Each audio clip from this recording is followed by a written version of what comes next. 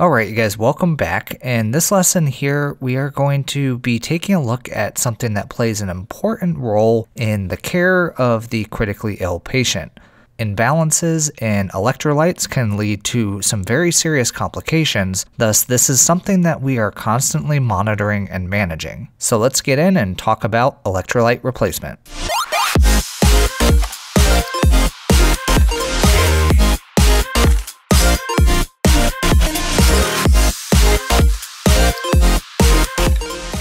Alright you guys and welcome back to another video lesson from ICU Advantage. For those of you who don't know me, my name is Eddie Watson and my whole goal with this YouTube channel is to try and give you guys the confidence to succeed in the ICU by taking these complex critical care subjects and making them easy to understand.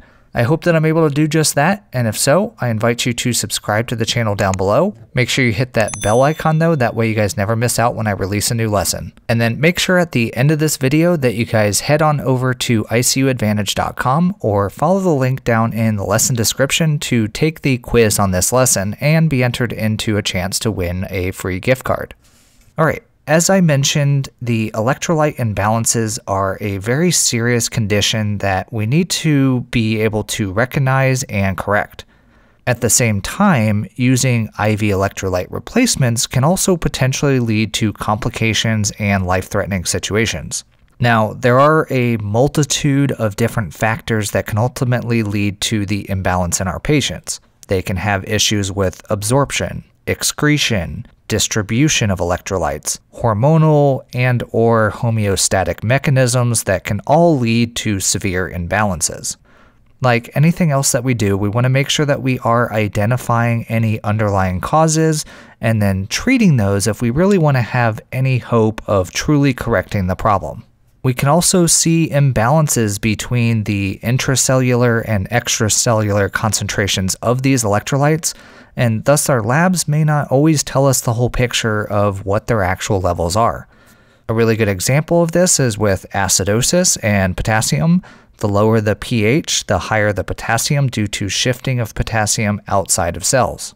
So let's actually talk about some of our replacement protocols that we have available to us it is important that you understand the management of this balance and how we appropriately do so. In most institutions, we have electrolyte replacement protocols that give us very clear guidance for what and how to replace these electrolytes. That said, there are some intricacies to be aware of, which I'm going to attempt to cover in this lesson here. So first off, our electrolyte replacement protocols are only useful for deficiencies in our patient's electrolytes. There are certainly complications and problems when the levels are too high, but that's definitely a talk for another day. Now, the way the protocols work is that we take the patient's serum electrolyte level, and then based on whatever that level is, we have a set amount of replacement to give them. It's actually quite simple to follow, and depending on their level, we may be giving them multiple doses over several hours. Now, important to know that patients that have renal dysfunction may either receive reduced doses, sometimes with a separate protocol, or may just be completely managed by the provider.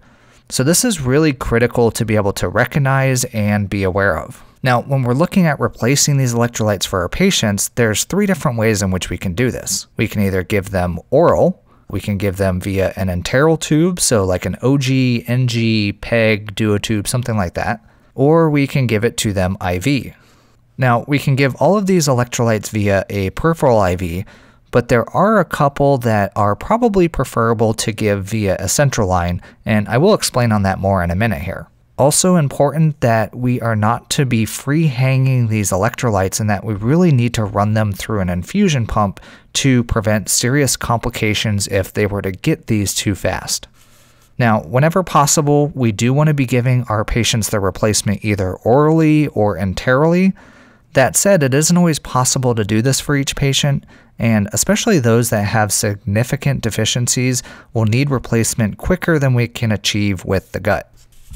Now, while we're giving the replacement, we also want to be monitoring for any changes in our patient, especially when we're doing the IV replacement, which I am going to discuss in more detail with each electrolyte. And then finally, after infusing the full course of whatever their replacement is, we of course want to recheck our labs and ensure that our patient has actually corrected or that they are correcting their imbalance. So now let's actually talk about some of the different electrolytes that we're going to be replacing with these protocols. When I talk about each one, I am going to also give an example of what a replacement protocol might look like. But please remember though that these can really change from facility to facility, and these examples here should really only be used as a reference to help your understanding of how it is that they work. You absolutely need to follow your own facility's policies and protocols. All right, so the first electrolyte that we're going to talk about is going to be our magnesium. Now, while it's certainly not uncommon to replace this, it's not our most commonly replaced one, which is actually potassium. And the reason that I wanted to talk about this one first, though, is that when you have a patient who needs both magnesium and potassium replacement, you're going to want to replace the magnesium first, hence my desire to cover this one first. Now, the reason for this, though, is without getting too technical, that hypomagnesemia can actually lead to distal potassium secretion in the kidney and ultimately potassium wasting. And so, as a result, this can make the patient's hypokalemia really refractory to any potassium replacement that you're giving them. Now, magnesium is our second most abundant intracellular cation behind potassium. It plays an important role as a cofactor for various biochemical reactions as well as ATP reactions. And we can see hypomagnesemia in patients with alcohol abuse, renal impairment, excessive fluid losses, as well as from medications such as diuretics. Now, poor intake is also to blame, and in the critically ill, this is probably our most common cause, and this is going to be due to the patient's nutrition deficits as well as malabsorption. Now, our normal levels for magnesium are going to be 1.6 to 2.6 milligrams per deciliter, and we can replace this one orally or enterally with something like magnesium oxide or magnesium sulfate. These definitely are recommended, though, if possible, for asymptomatic patients, but they often aren't tolerated very well. Here, think diarrhea. Now, for our IV replacement, we use magnesium sulfate. Our infusion rates are usually 1 gram over about 30 minutes, uh, and if we're running rates faster than 150 milligrams per minute, that this can actually lead to magnesium excretion working against us as well as hypotension. And our maximum dose of magnesium is going to be 8 grams per day. Now, we typically don't start replacing unless they're under 1.6 or 1.5, really kind of depending on your particular facility's protocols. And so let's go over an example of what a magnesium replacement protocol might look like. So if our patient's magnesium is 1.3 to 1.6, we'd want to give them 2 grams of magnesium sulfate. If we're doing this IV, this should take us about an hour. If their magnesium level is 1.1 to 1.2, then we want to give them 3 grams, so here think an hour and a half. And then if their mag level is less than 1, then we want to give them 4 grams, and this should take about 2 hours to infuse. This is critical though, and the provider needs to be notified of this. And of course, we are definitely not going to replace critical levels with the oral and enteral supplementation. Now, we want to recheck serum magnesium level two hours after the last dose is finished infusing. All right, so now let's move on and talk about potassium. Now, potassium is our most abundant intracellular cation. In fact, 98% of our potassium is intracellular, while only about 2% is found extracellular. It plays an important role in cellular metabolism, protein synthesis, as well as the regulation of action potentials. Now, we can see hypokalemia with inadequate intake, excessive excretion, both here think renal impairment, diuretics, GI losses, or increased movement into the cell. And here, think acid base imbalance, insulin, catecholamines all can have an effect on that. Now, hypokalemia can have significant effects on the excitability of electrical tissue, and increasing deficiencies can result in muscle weakness slash paralysis, arrhythmias, and even asystole. Obviously, then, this makes this a potentially life threatening situation. Now, our normal level for potassium is going to be 3.5 to 5.1 millimoles per liter, and we can replace orally or enterally with potassium chloride. This often comes as the large pill, although I have seen it in smaller, easier to swallow ones, and it also comes as a powder. Now, for IV replacement here, again, we're using potassium chloride, and we can use a peripheral IV, but we are limited to replacing at 10 milliequivalents per hour. And even then, this is often painful for the patient. So the larger the vein, the better, but you may need to actually slow down the rate. Now, at my facility, we actually used to have pharmacy that would mix a bag of potassium and lidocaine, which really seemed to help, but we stopped doing that years ago. Now, for our potassium replacement, though, we typically prefer to give this into a large vessel via a central line, really to eliminate this problem. When we're using a central line here, we're able to give 20 milliequivalents per hour, and without pain, and this allows us to replace larger deficiencies quicker, which really can be important for some of our patients. Now, we can start replacing their potassium when it's less than 4, but typically we're going to do so when they're less than 3.6. And so again, another example of a protocol for potassium replacement would be if our level is from 3.6 to 3.9, we might give them 20 milliequivalents. If it's 3.1 to 3.5, we are going to give them 40 milliequivalents. If it's 2.6 to 3.0, we would then want to give them 60 milliequivalents. And if it's less than 2.6, this would be 80 milliequivalents that we're going to give them. But again, this is critical and a provider needs to be notified. Now, as you can see with this protocol, if we had a patient with only peripheral access and a K of 2.9, we're going to need to give them 60 milliequivalents of replacement, but we can only give it at 10 milliequivalents an hour, so this is going to take 6 hours to replace, and it's probably going to be quite uncomfortable for the awake patient. So it definitely helps having that central line, especially if you're having to replace large volumes because you're able to do that quickly as well as do it pain-free for the patient. Now, once the last dose finishes, we want to recheck our serum at least one hour, but probably preferably two hours later.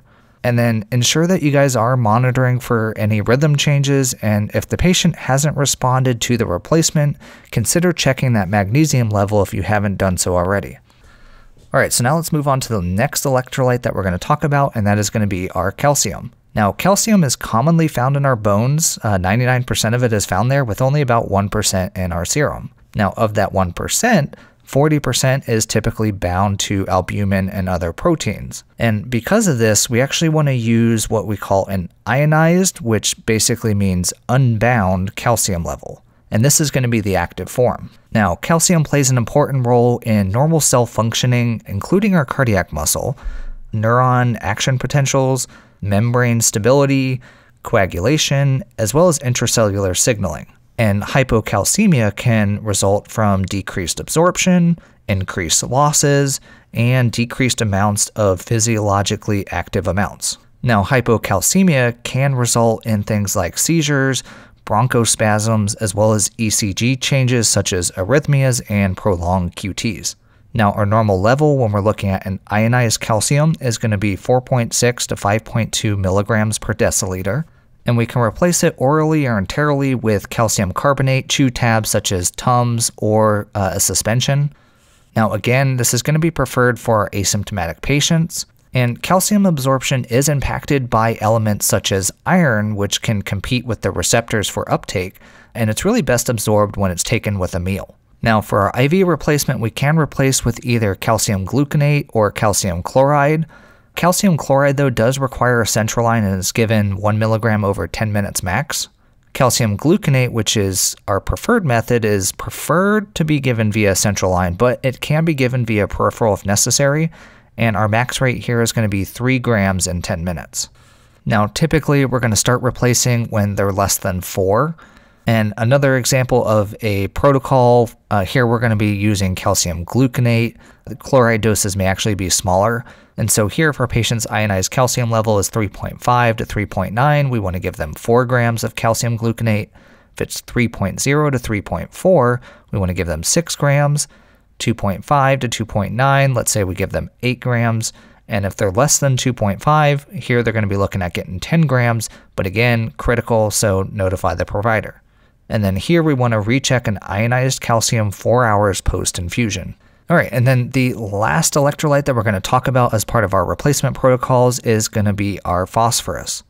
Now, phosphate is the primary intracellular anion. It plays an important role in nerve and muscle conduction, ATP production, glucose utilization, and glycolysis. Now, important to know though that hypophosphatemia is commonly found with hypercalcemia, as well as it can be a result of hyperthyroidism, correction of DKA, and acute respiratory alkalosis.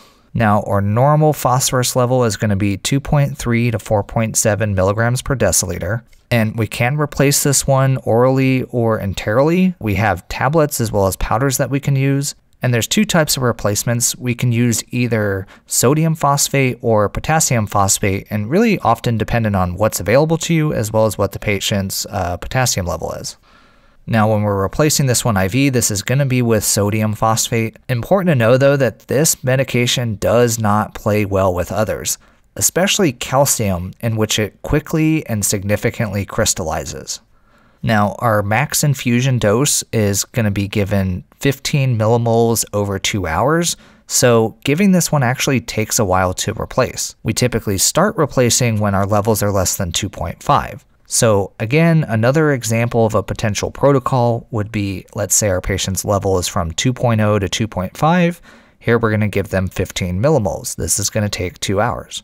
Now, if their level is 1.0 to 1.9, we're going to give them 30 millimoles. So now we're looking at four hours. And if it's less than one, here we're going to give them 45 millimoles, and this is going to take at least six hours. Again, this one is critical, so again, notify the provider. Once we've infused this into the patient, we do want to recheck that serum phosphorus level six hours afterwards. All right, so again, the examples that I used were just that to try and help you guys understand how these protocols work. Make sure you guys are following your own facility's protocols and policies when you guys are out there. Also, remember that you can only replace with a protocol if it's ordered for your patient. Now, oftentimes we have these as standing orders, but do keep that in mind. And sometimes we're going to have standing orders for only some to be replaced and not all of these. And really important, especially for the standing orders, is make sure that you guys are keeping an eye on your patient's renal function. If you see the creatinine rising above 2, the BUN dropping below 30, or their urine output falling less than 30 per hour, then you really want to proactively reach out to the provider and see if they want to continue this replacement in its current form. And that is our talk here on the electrolyte replacement protocol. I really hope that you guys found this lesson beneficial. If you did, please go down below and hit the like button. It really helps out this channel in terms of the YouTube algorithm, as well as leave me a comment down below. I love hearing from you guys, reading your comments, and trying to respond to just about everybody. If you haven't done so already, make sure and subscribe to the channel down below, as well as share this video with anybody else that you think might find it useful. Special shout out to the awesome YouTube and Patreon members out there. The support that you guys provide for this channel is truly appreciated and is really going to allow me to continue to do bigger and better things moving forward. For the rest of you guys, if you'd be interested in showing additional support, you can join the YouTube membership down below or head on over to the Patreon page and check out some of the additional perks that you guys get for doing just that. You can also support this channel by following some of the links that are down in the lesson description, as well as checking out some of the awesome shirt designs that I have down there as well. Make sure you guys stay tuned for the next lesson that I release. Otherwise, in the meantime, check out a couple awesome lessons I'm going to link to right here. As always, thank you guys so much for watching. Have a great day.